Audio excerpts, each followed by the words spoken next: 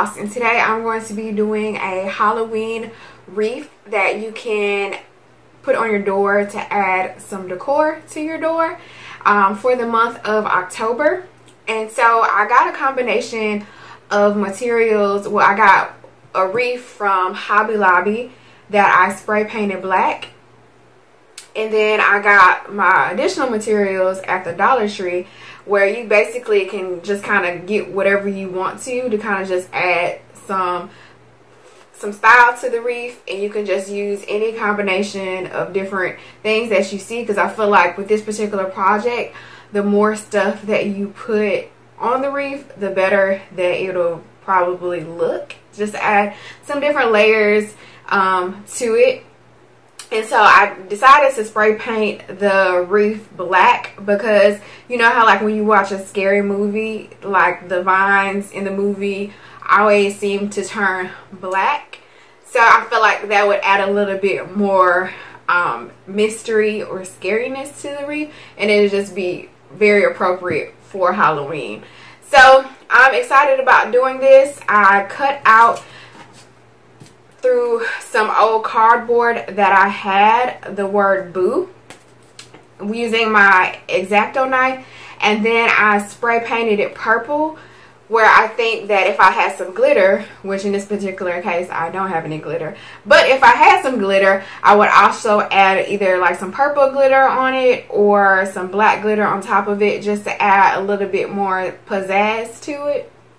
But I'm still trying to debate if I'm going to actually even use the cutout letters that I spray painted. So I'm going to go ahead and play with it um, when I actually go ahead and start doing the wreath.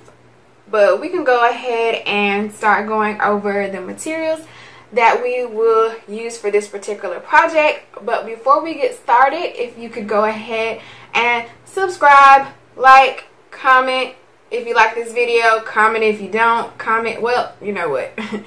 positive comments. um, but let's go ahead and let's get right started with the materials that we would need for this particular project.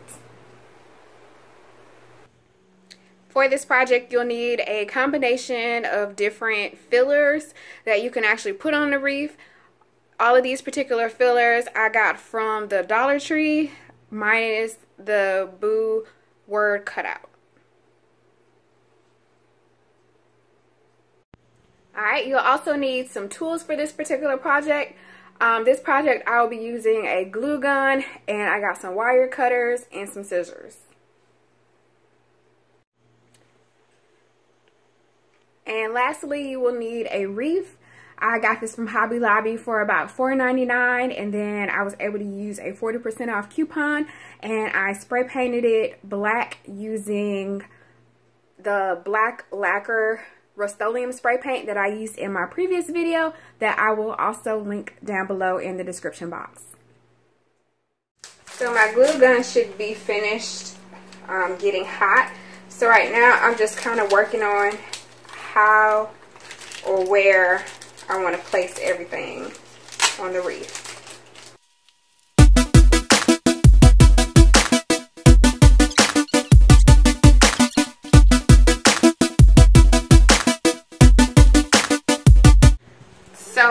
That I didn't have any glitter, but as I started playing with the placement of the stuff on the wreath, I realized that I had these little um, sparkly vase fillers that I bought to actually put on the wreath. But I think what I'm going to do is I'm still going to try to incorporate the cardboard cutout that I did. And I'm going to actually just glue gun, with the glue gun, um, add, come on, add the balls to the little word cutout that I did and just trace the letters and see how this actually looks. So it still gives me the glitter effect that I was looking for but then it also gives me the ability to have some texture too which, you know, I'm all about texture these days. Spray painting and texture.